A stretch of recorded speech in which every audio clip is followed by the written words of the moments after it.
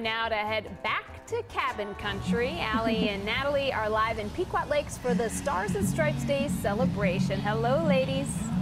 Hey Heather, Hi. things just kicked off. We watched the setup. Now it's up and running, and the folks are starting to flock to the area.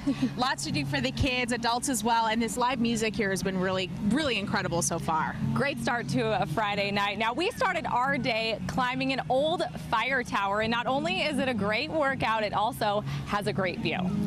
All right, it's a race, step by step, and we're getting a workout. One, one down. I'm getting a little out of breath, Natalie.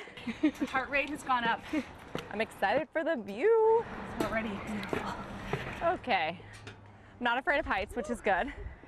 It's getting a little, uh, little high. So pretty. Oh my gosh. Wow. That was worth it. Yeah.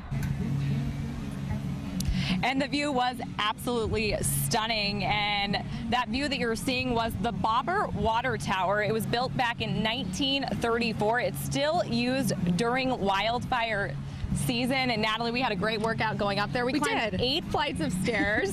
It looked- okay, it looked a little higher than it was. It wasn't that hard to get up there, but it, it was worth the climb because you could just kind of see everything sprawling below you, especially this time of year. Beautiful green colors, and I, I bet in the fall it's gorgeous too. and also a great hike just getting up to the Yeah, fire good tower. point. But enough about the fire tower. We have to talk about fireworks because it is the 4th of July. Of course, and if you're looking for some fireworks and you're in the area, we got a guy for you. His name is Ken.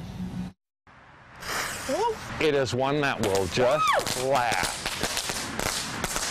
And when it's done, there ain't nothing there. My number one seller this year is like every year. My number five. 75 bucks, huh? Yep. What is it? Just throw it out there on the concrete. On the concrete? Yep. Whoa! And for as small as it is, that is a big seller, that one. And it just goes and, and it goes and goes and goes. This is my number one seller. This is a new one this year. This has become my one of my number one sellers. The Pure Fantasy was my number one seller for two years in a row. You take it, you light it, throw it out there. Okay. It snap, crackles, and pops. That's what it does. This is a special day for the kids, Yeah. and it's a special day for the adults to treat their kids. And I love kids. That's great. Words of wisdom from Ken, too. Ken does have 11 grandchildren, and he had so many fun stories to share with us about those kids. I can't imagine his fireworks display on 4th yeah, of no July. kidding. That's a very good point. So if you're looking to stop by Ken's and you live in the area, it's just a mile and a half east down Highway 16, uh, just off of 371. So Yeah, it's super close. It's really close. There's a big yellow sign, so if you're in the area, definitely check it out. It's a small shop, so it's kind of nice to support them.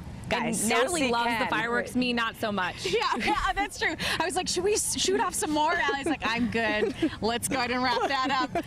You've seen so many like wonderful people out there. So thanks to Ken and gosh, that Yes. that view was just gorgeous from the tower. So nice work, ladies. It Fun to see all you've been up to. Thanks.